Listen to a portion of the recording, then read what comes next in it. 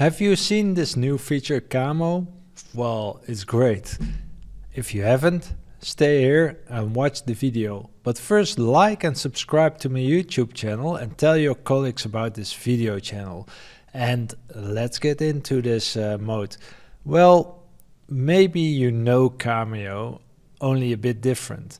Um, if you use Teams, you may have seen that you can present in front of your slides uh, during a meeting, but that's just a, a, static place in your PowerPoint presentation, which is not always the greatest.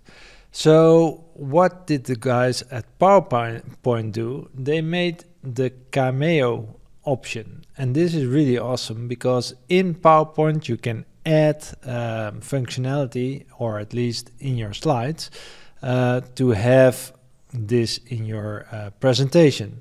So let's go to PowerPoint. Uh, first of all, in my case, I'm using uh, the beta channel still.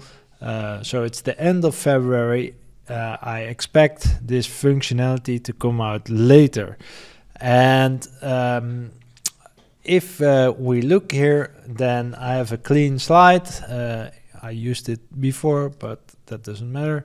I'm going to use a new uh, slide. I'm gonna uh, choose design ideas. Maybe there's some good idea here. Um, well, let's just uh, pick one. let's take this one and say, okay, this is my first slide. And of course, in the introduction. I want to be in the picture and uh, want to talk about my uh, my uh, new presentation. So what can I do? I can go to the insert menu and now here you have this new option called Cameo. If I insert, it will show my uh, video at the bottom but you already see that the design ideas also gives an opportunity to change it. But hey, this is still very basic. Uh, I want to have it over here. So that's easy. Now I'm already more uh, happy with the result, uh, but still it's pretty simple. So what we can do, we can change the borders uh, and the shapes of the camera to have it exactly how we want it. We can even put it behind uh, uh, shapes, etc.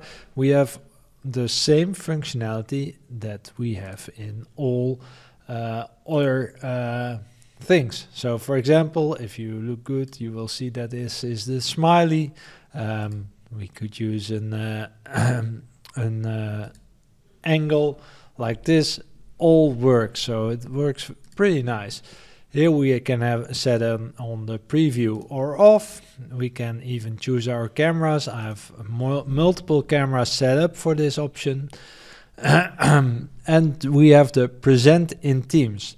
This functionality is still not working in my environment at the moment of recording, uh, but we could record our slideshow. Now, of course, we want to present in Teams. And what I most of the time do when I present in Teams a slideshow, I will go to the uh, icon next to the slideshow and go to the reading view. What happens, my slides get uh, set up in a presentation mode and as you can see I'm still in the screen. Now let's go to Teams and we uh, join this meeting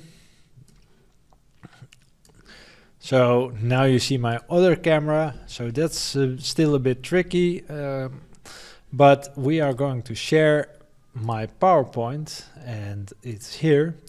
And now I'm sharing my PowerPoint within uh, Teams, as you can see, and I can uh, just present like normal, but it's a more fancy way than it used to be. So I'm curious if uh, you are going to use this functionality and if so where do you want to go and use it? And um, how are you going to use it? And if you are looking for more information um, don't forget to subscribe and like this channel um, and uh, tell it to your colleagues but um, one more thing which I think could be interesting.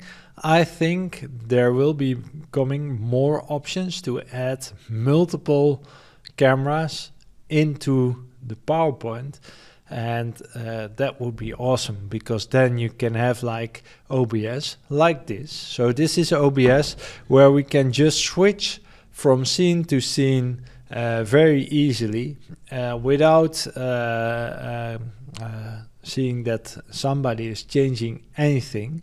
uh, that would be awesome. So Microsoft, if you can, please do that. All right. Thank you for watching and uh, see you next time.